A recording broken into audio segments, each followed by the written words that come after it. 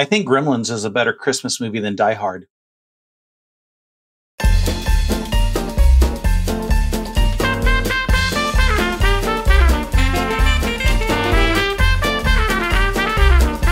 On today, the 15th day of Vlogmas, I had no idea what I was going to talk about. I had a few things in my list, but hey, look, work got a little crazy today. So I knew I had to get into my sewing room today to work on the stockings. So I decided that I would do a time lapse of making stockings.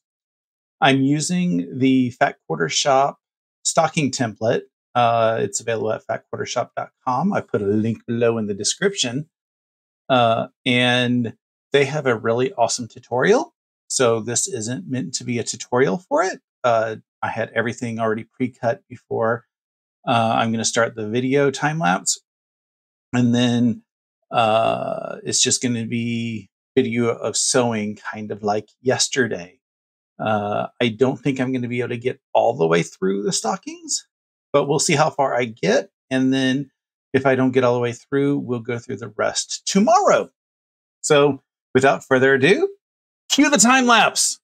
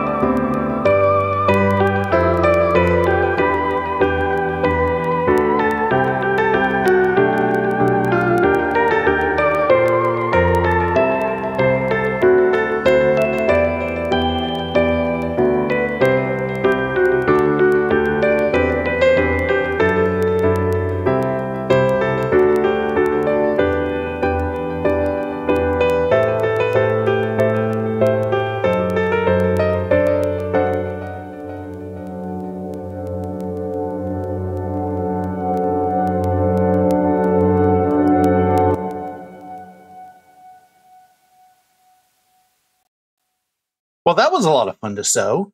Once you've done sewing, you have a nice stocking that looks like this. Uh, I used fleece, fusible fleece for my innards. Uh, I believe that Kimberly from Fat Quarter Shop used soft and stable. So this isn't quite as stable as that, but I like my stockings to have a little bit of give in them. Uh, I think that they fit a little bit more naturally. So once you have your two halves of your stocking sewn together, you can reach in and pull it right sides out. It's not difficult to do. And then you push out all the edges as best as you can.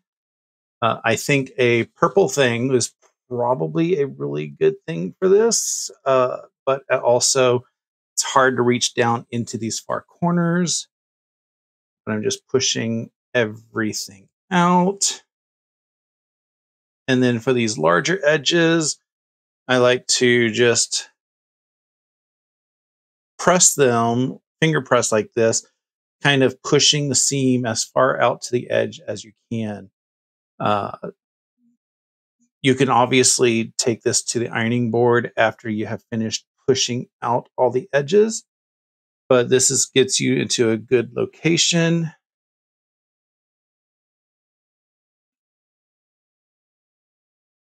And almost there.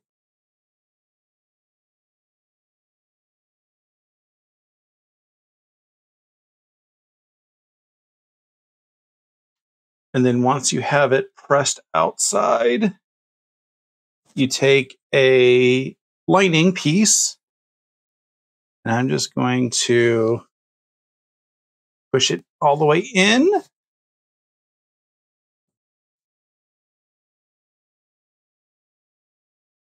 Line up the edges. Line up the seams.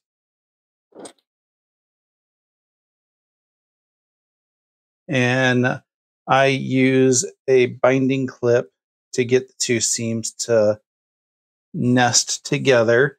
There's more pieces that are going to go in here after we are done with them. I just haven't gotten them ready. Uh, you need to get the cuff in there and the hanger.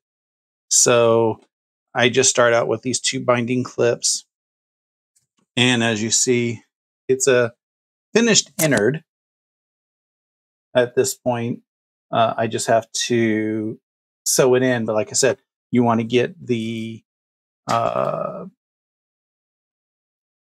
cuff and the hanger in here before we sew.